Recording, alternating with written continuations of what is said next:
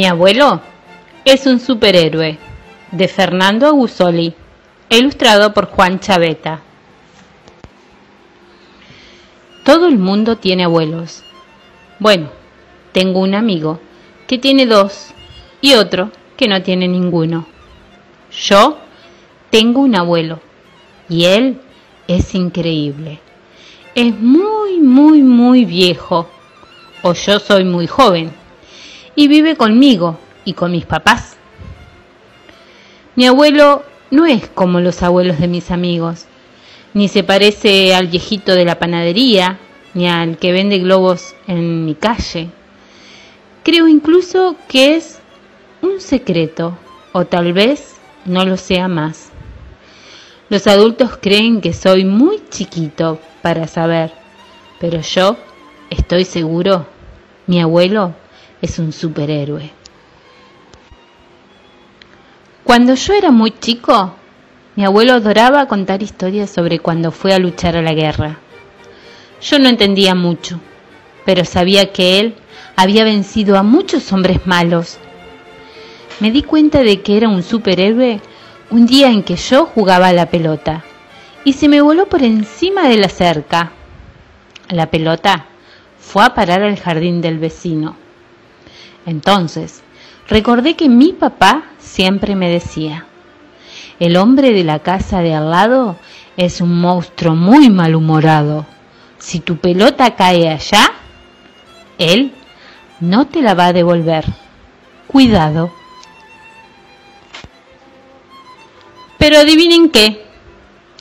Llegó mi abuelo, se colocó su chaleco marrón de lana, se puso los anteojos él casi siempre se inclinaba para verme por sobre los lentes y atravesó el jardín hasta el portón de la casa del vecino. Yo esperé allí parado hasta que volviera. Si el vecino era realmente un monstruo, no lo sé, pero mi abuelo estaba ahí, de vuelta, con la pelota. Pero un día, mi abuelo hizo una tontería muy grande, por lo menos eso creo yo escuché a mamá gritando, ¡Papá! Olvidaste la olla sobre la hornalla prendida de nuevo. Casi se prende fuego la cocina. No puedes hacer una cosa así, dijo ella furiosa. El abuelo me vio espiando por la puerta de la sala y cuando pasó por al lado mío, susurró, ¡Eh! ¿Escuchaste todo? Sí, dije yo avergonzado. Entonces, ¿sabe lo que eso significa? No, abuelo. Es el polvo de hada. Tenemos que encontrarla, dijo él, mirando para todos lados, frunciendo la frente. ¿Las hadas no son buenas, abuelo? pregunté. No todas. Esta no lo es. Ella vuela sobre tu cabeza y tira un polvo casi invisible es muy difícil ver al hada del olvido. ¿Y qué pasa después de que ella tira el polvo? Uno se olvida de las cosas. ¿No viste cómo olvidé la olla sobre la hornalla? Vamos a buscarla. Yo acepté, mientras el abuelo me tomaba de la mano. Entonces salimos volando por las montañas detrás del hada del olvido. Después de mucho buscar, regresamos a casa. Espera, ¿qué es eso volando sobre tu cabeza? Tan pronto como miré hacia arriba, el abuelo gritó, ¡Aquí! ¡La atrapé! ¿Dónde, abuelo? Se escapó de mis manos, voló por aquel lado. Necesitamos un vaso. Es la única forma de detenerla. Corrí como el viento hasta la cocina Creo que en menos de un segundo ya estaba de vuelta. Aquí está el vaso. Esperemos un segundo. Un poco más. Un poco más, decía él, mientras miraba para arriba y movía la cabeza de un lado para otro. Listo. Aquí está. Atrapamos al hada. Y ahí estaba ella, bien chiquita, atrapada dentro del vaso, volando de un lado para el otro. Entonces nos tiramos exhaustos en el sofá. todavía vestidos de superhéroe. Otro día pasé por el cuarto del abuelo y él estaba muy agitado, abriendo todos los cajones y los armarios, hasta que abrió la ventana, buscando algo en el bosque. ¿Pero qué cosa? Estaba seguro de que estaba aquí, en algún lugar. Entonces me vio y enseguida me dijo, mi joven ayudante, te necesito. No sé dónde puse mis anteojos. ¿Los has visto? Yo dije que no. El abuelo entonces levantó su dedo y puso cara de espanto. Ya sé lo que está pasando, mi joven compañero. Es el duende juguetón. Será de tu altura, pero tiene una barba blanca bien larga.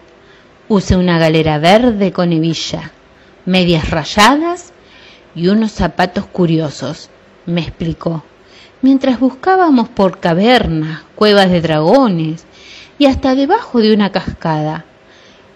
Es muy experto y debe saber que estamos aquí.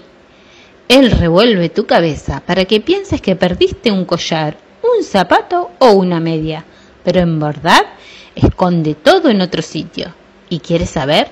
Estoy seguro de que él trajo algunas cosas a esta caverna oscura y maloliente. ¿Quién sabe si no dejó mis anteojos acá? Los buscamos por algún tiempo y después volvimos a casa. Allá encontramos un cordón, algunas monedas, llaves, muchas hojas con palabras difíciles y hasta una banana. Mira ahí, dijo el abuelo, apuntando algo sobre la mesa de luz. Son mis anteojos. Entonces el duende apareció frente a nosotros con mirada de horror, yo salté encima de él y el abuelo vino corriendo con el cordón que habíamos encontrado. Amarramos al duende juguetón y recuperamos los anteojos del abuelo. Pero cierta vez me levanté de la cama en la noche para ir al baño y escuché a mis padres conversando. Mi mamá estaba llorando y parecía preocupada. Él está muy enfermo. El médico dijo que tiene Alzheimer. Eso no es nada bueno, dijo ella. Yo volví a la cama y me quedé pensando, ¿qué monstruo sería ese tal Alzheimer? Por la forma en que mamá hablaba, sería muy difícil vencerlo. A la mañana siguiente le di un regalo al abuelo. ¿Qué es esto, mi fiel ayudante? preguntó él. Somos nosotros, abuelo. ¿Y este? Es Alzheimer. ¿De dónde sacaste ese nombre? Escuché a mamá diciendo que tenías Alzheimer. Él, es muy malo, abuelo. El abuelo fue hasta el espejo y se quedó mirando. Vi que respiró profundo, dio la vuelta y vino en dirección hacia mí. Eso significa que el abuelo va a olvidar muchas cosas de ahora en adelante. Voy a necesitar que me prometas una cosa desde lo más profundo de tu corazón. Moví la cabeza diciendo que sí. Si un día llego a olvidarte, vos no te vas a olvidar de mí. Me abrazó muy, muy, muy fuerte y me dio un beso en la frente antes de decirme, ¿vamos a jugar? Hasta el día de hoy mantengo mi promesa, abuelo. Mi abuelo es un superhéroe, de Fernando Agusoli.